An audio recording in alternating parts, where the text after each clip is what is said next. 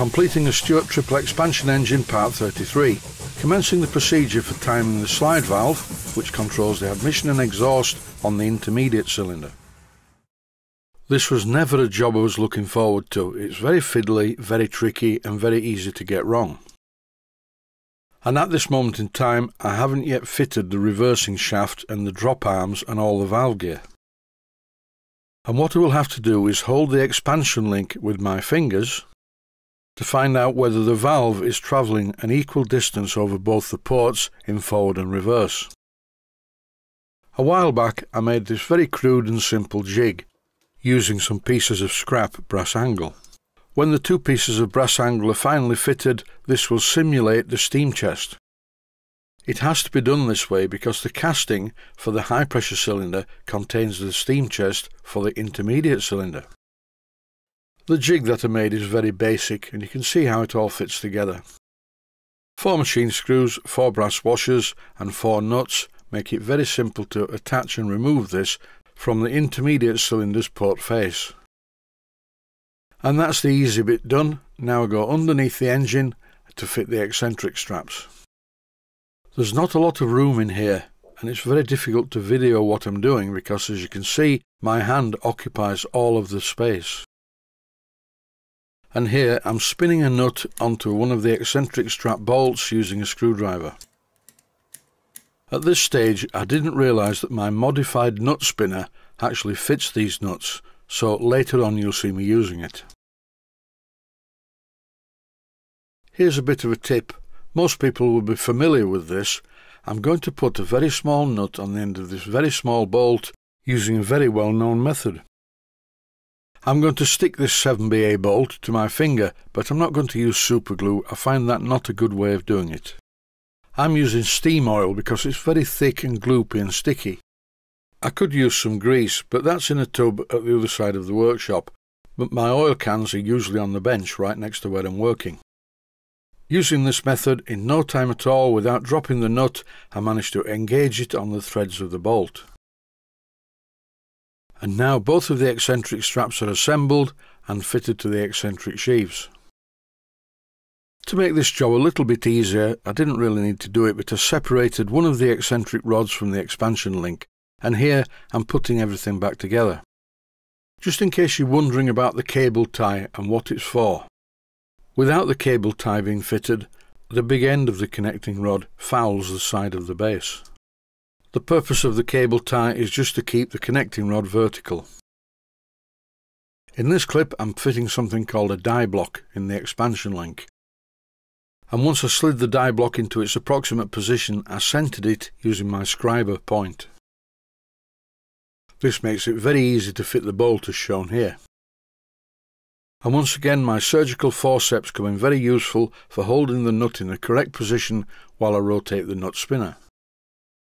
A word of caution here, do not over tighten the bolt, because if you do over tighten it, two things can happen. One, you can shear off the bolt, and if you don't shear off the bolt but still tighten it too much, it will clamp the expansion link between the valve fork. This small die block needs to be a very easy sliding fit in the gap in the expansion link. This one appears to be slightly stiff, but that's due to lack of oil. In this clip you can see the principle. The two pieces of brass hold the valve rod in a vertical position. And as I rotate the engine, the eccentrics move the valve rod up and down via the expansion link. And when I set the valve, I will have to hold this expansion link in place. Because the die block needs to be held in a fixed position in the expansion link so I can obtain the correct result when I come to time the valve. Now I've oiled the expansion link, as you can see, it's quite an easy fit and it's moving quite smoothly. Thanks to the wonders of modern video and slow motion, I noticed something that I may have overlooked. At one end of the travel of the expansion link, it's actually fouling the valve fork. This problem needs correcting. A simple fix, I just file the top of the valve fork. Then it will clear the expansion link, and no binding will occur. This is a very common problem. It's not too bad if you're working on a single cylinder engine, but this one has three.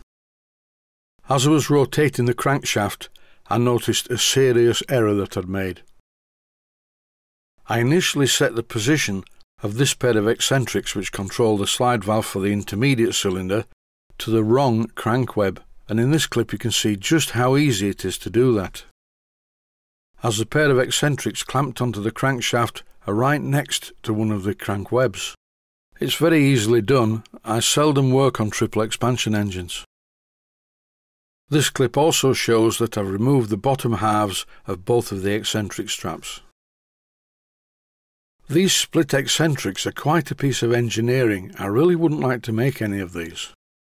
It's not very high on the list of things I'd like to do in my workshop. Originally this split double eccentric sheave was fitted to the crankshaft using two slot-headed bolts. I modified these split eccentrics to use Allen cap head bolts which are much stronger.